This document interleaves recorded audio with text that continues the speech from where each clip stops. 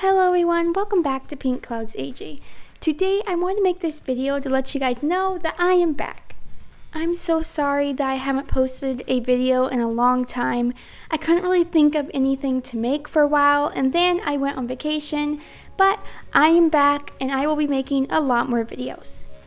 I wanted to say thank you to everyone who left me a Jam-A-Gram and asking if I was okay and what happened. I'm totally fine. Like I said, I've been just busy, so I haven't really had time to post a video, but I am back and I can't wait to start making more videos in the very near future. That's it for this video. Make sure you guys like, comment, share, and subscribe, and comment down below if you guys went anywhere on spring break. If you did, let me know where you went. I will see you guys in my next video. Bye guys.